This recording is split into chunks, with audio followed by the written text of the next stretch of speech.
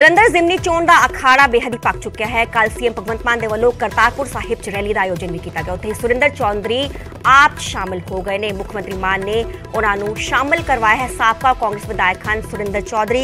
ਇਸ ਦੇ ਨਾਲ ਹੀ ਦੱਸਦੇ ਕਿ ਮਰਹੂਮ ਐਮਪੀ ਸੰਤੋਖ ਚੌਧਰੀ ਦੇ ਭਤੀਜੇ ਹਨ ਸੁਰਿੰਦਰ ਚੌਧਰੀ। ਕਰਤਾਰਪੁਰ ਤੋਂ 2017 ਤੋਂ 2022 ਤੱਕ ਵਿਧਾਇਕ ਵੀ ਰਹਿ ਚੁੱਕੇ ਨੇ। ਤੇ ਕੱਲ ਦੀਆਂ ਤੁਹਾਨੂੰ ਤਸਵੀਰਾਂ ਵਿਖਾ ਰਹੇ ਹਾਂ, ਜਦੋਂ ਕਿ ਸੁਰਿੰਦਰ ਚੌਧਰੀ ਆਪ 'ਚ ਸ਼ਾਮਲ ਹੋਏ ਨੇ। ਸੀਐਮ ਭਗਵੰਤ ਮਾਨ ਦੇ ਵੱਲੋਂ ਕੱਲ ਰੈਲੀ ਦਾ ਆਯੋਜਨ ਕੀਤਾ ਗਿਆ ਸੀਗਾ। ਪਹਿਲੀ ਰੈਲੀ ਹੈ। ਉੱਥੇ ਹੀ ਜੋ ਜਲੰਧਰ ਜ਼ਿਮਨੀ ਚੋਣ ਦਾ ਅਖਾੜਾ ਪੱਕ ਚੁੱਕਿਆ ਹੈ। ਤਸਵੀਰਾਂ ਤੁਹਾਨੂੰ ਵਿਖਾ ਰਹੇ ਹਾਂ ਕਿ ਜੋ ਸਾਬਕਾ ਕਾਂਗਰਸ ਵਿਧਾਇਕ ਹਨ ਸੁਰਿੰਦਰ ਚੌਧਰੀ, ਉਹਨਾਂ ਨੇ ਆਮ ਆਦਮੀ ਪਾਰਟੀ ਦਾ ਪੱਲਾ ਫੜ ਲਿਆ ਹੈ। ਸੀਐਮ ਭਗਵੰਤ ਮਾਨ ਦੇ ਵੱਲੋਂ ਕੱਲ ਰੈਲੀ ਦਾ ਆਯੋਜਨ ਕੀਤਾ ਗਿਆ ਸੀਗਾ। ਜਲੰਧਰ ਜ਼ਿਮਨੀ ਚੋਣ ਦਾ ਅਖਾੜਾ ਪੱਕ ਚੁੱਕਿਆ ਹੈ। 10 ਮਈ ਨੂੰ ਵੋਟਾਂ ਪੈਣੀਆਂ ਨੇ ਤੇ 13 ਮਈ ਨੂੰ ਨਤੀਜੇ ਲਾਣੇ ਜਾਣਗੇ। ਇਸ ਦੇ ਨਾਲ ਹੀ ਜੋ ਸਿਆਸੀ ਦਲ ਬਦਲ ਦਾ ਜੋ ਸਿਲਸਿਲਾ ਹੈ, ਉਹ ਵੀ ਲਗਾਤਾਰ ਜਾਰੀ ਹੈ। ਪਿਛਲੇ ਹਫ਼ਤੇ ਅਸੀਂ ਵੇਖਿਆ ਸੀਗਾ ਕਿ ਜੋ ਕਾਂਗਰਸ ਦੇ ਸੁਸ਼ੀਲ ਰਿੰਕੂ ਸੀਗੇ, ਉਹਨਾਂ ਨੇ ਹੀ ਕਾਂਗਰਸ ਛੱਡ ਕੇ ਆਮ ਆਦਮੀ ਪਾਰਟੀ ਦਾ ਪੱਲਾ ਫੜਿਆ ਸੀਗਾ। ਹਾਲਾਂਕਿ ਜਲੰਧਰ ਜ਼ਿਮਨੀ ਚੋਣ ਦੀ ਟਿਕਟ ਵੀ ਆਮ ਆਦਮੀ ਪਾਰਟੀ ਦੇ ਵੱਲੋਂ ਉਹਨਾਂ ਨੂੰ ਦਿੱਤੀ ਗਈ।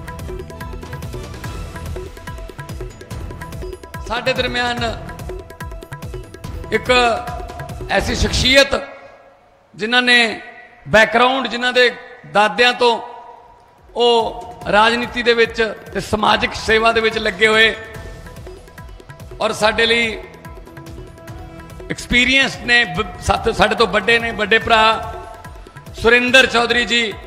ਉਹਨਾਂ ਨੇ ਵੀ ਮੈਨੂੰ ਅੱਜ ਇਹ ਗੱਲ ਕਹੀ ਹੈ ਕਿ ਮਾਨ ਸਾਹਿਬ ਮੈਂ ਵਲੰਟੀਅਰ ਬਣ ਕੇ ਆ ਰਿਹਾ, ਮੇਰਾ ਨਾਂ ਪਹਿਲਾਂ ਨਾ ਬੋਲਿਓ, ਮੇਰੇ ਤਾਂ ਜਦੋਂ ਤੁਸੀਂ ਸ਼ਾਮਲ ਕਰਾਉਣਾ ਉਦੋਂ ਸ਼ਾਮਲ ਕਰਾ ਲਓ ਮੇਰੀ ਵਲੰਟੀਅਰਾਂ ਦੀ ਲਿਸਟ 'ਚ ਮੇਰਾ ਨਾਂ ਲਿਖ ਲਓ। ਇੱਕ ਵਾਰੀ ਜ਼ੋਰਦਾਰ ਤਾੜੀਆਂ ਉਹਨਾਂ ਦੇ ਨਾਂ ਤੇ ਮਾਰੋ। ਉਹ ਕਹਿੰਦੇ ਜੀ, ਮੈਂ ਤਾਂ ਮੈਂ ਤਾਂ ਸੇਵਾ ਕਰਨੀ ਹੈ, ਜਿੱਥੇ ਮਰਜ਼ੀ ਡਿਊਟੀ ਲਾ ਦਿਓ।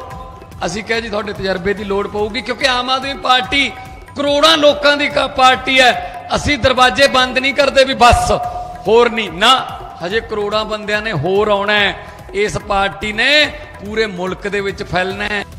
ਕੋਈ ਉਮੀਦ ਨਾ ਰੱਖਿਓ, ਪਹਿਲਾਂ ਚੈੱਕ ਕਰ ਚੁੱਕੇ ਇਹਨਾਂ ਨੂੰ। ਉਹ ਉਹ ਸੁਖਬੀਰ ਬਾਦਲ, ਉਹ ਤਾਂ ਵਿਚਾਰਾ ਚਲੋ ਛੱਡੋ, ਕੀ ਉਹ ਚਲੋ। ਜਿਹਾ ਜਿਹਾ ਹੈਗਾ, ਚਲੋ ਜਿੰਨਾ ਕੁ ਹੈਗਾ ਉਹ। ਤੁਰਿਆ ਫਿਰਦਾ, ਕਿਸੇ ਦੇ ਰੋੜਾ ਰੂੜਾ ਨਹੀਂ ਮਾਰਦਾ, ਚਲੋ। ਹਨਾ? ਤੁਰਿਆ ਫਿਰਦਾ ਹੈ। ਹਨਾ? ਉਹ ਪਤਾ ਹੀ ਨਹੀਂ ਕੀ ਕਹਿੰਦਾ ਕਹਿੰਦਾ ਆ ਕੱਲ ਦੀ ਉਹ ਗੱਲ ਦੱਸੀ ਹੈ, ਇਹਦੇ, ਇਹਦੇ- ਇਹਦਾ ਵੀ ਵਿਰੋਧ ਕਰੀ ਜਾਂਦਾ ਸੀਗਾ, ਜਿਹੜਾ ਟਾਈਮ ਬਦਲਿਆ। ਕਹਿੰਦਾ, ਇਹਦਾ ਮਤਲਬ ਸਾਡੇ ਘਰਾਂ 'ਚ ਹੁਣ ਲੇਡੀਜ਼ ਜਿਹੜੀਆਂ ਨੇ, ਜਨਾਨੀਆਂ 2:30 ਵਜੇ ਉੱਠਿਆ ਕਰਨਗੀਆਂ। ਲੈ, ਜਿਹਨੂੰ 2:30 ਤੇ 2:30 ਦਾ ਨਹੀਂ ਪਤਾ, ਉਹ ਕੀ ਚਲਾ ਲੂਗਾ ਪੰਜਾਬ ਨੂੰ ਯਾਰ ਦੱਸੋ।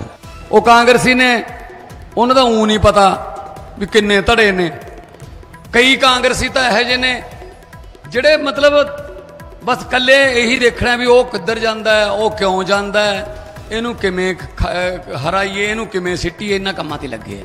ਸੋ ਮੈਂ ਮੇਰੇ ਬਾਰੇ ਬੋਲੀ ਜਾਣ, ਜਿੰਨਾ ਬੋਲੀ ਜਾਂਦੇ ਨੇ। ਇਹ ਤਾਂ ਕਹਿੰਦੇ ਪਹਿਲਾਂ, ਦੇਖੋ ਕਿਵੇਂ ਬਦਲੇ ਨੇ ਇਹ। ਪਹਿਲਾਂ ਕਹਿੰਦੇ ਸੀ, ਨੋ ਨੋ ਨੋ, ਆਮ ਆਦਮੀ ਪਾਰਟੀ ਦੀ ਸਰਕਾਰ ਨਹੀਂ ਬਣਦੀ। ਜਦੋਂ ਰਿਜ਼ਲਟ ਜੇ ਆਉਣ ਲੱਗੇ 60 65 ਹੀ ਆਉਣਗੀਆਂ, ਜ਼ਿਆਦਾ ਨਹੀਂ ਆਉਂਦੀਆਂ ਇਹਨਾਂ ਨੂੰ। ਜਦੋਂ 92 ਆ ਗਈਆਂ ਆ ਤਾਂ ਗਈਆਂ 3 ਮਹੀਨੇ ਚੱਲਣੀ ਨਹੀਂ ਨਾ ਤੋਂ। ਜਦੋਂ 3 ਮਹੀਨੇ ਚੱਲ ਚੱਲ ਵੀ ਬਿਜਲੀ ਨਹੀਂ ਫ੍ਰੀ ਕਰ ਸਕਦੇ। ਜਦੋਂ ਬਿਜਲੀ ਫ੍ਰੀ ਕਰਤੀ, ਨੌਕਰੀਆਂ ਕਿੱਥੋਂ ਦੇਣਗੇ? ਜਦੋਂ ਨੌਕਰੀਆਂ ਦੇਣ ਲੱਗ ਗਏ ਹੁਣ ਤਾਂ ਸਿੱਧੇ ਹੀ ਰੌਲੇ ਤੇ ਆ ਗਏ। ਹਾਂ, ਮੈਂ ਨਹੀਂ, ਮੈਂ ਕਿਉਂ ਚਲਾਈ ਜਾਂਦੇ ਨੇ ਹਰ ਗੱਲ ਕਰੀ ਜਾਂਦੇ ਨੇ ਬਸ। ਆ ਫ਼ਰਕ ਹੈ ਨਾ ਕੀ ਕਰੀਏ ਨਾ?